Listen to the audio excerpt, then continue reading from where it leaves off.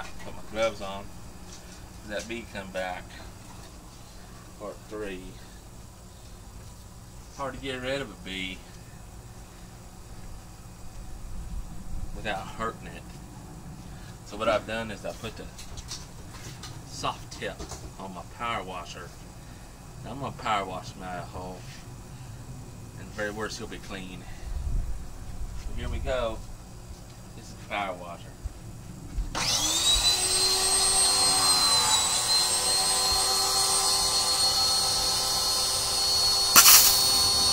The hell?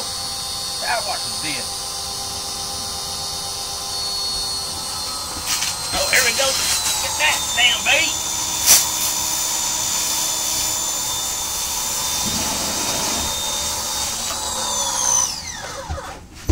Alright.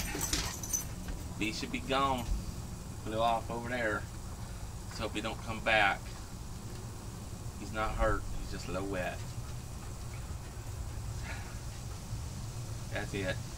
You can quit rolling.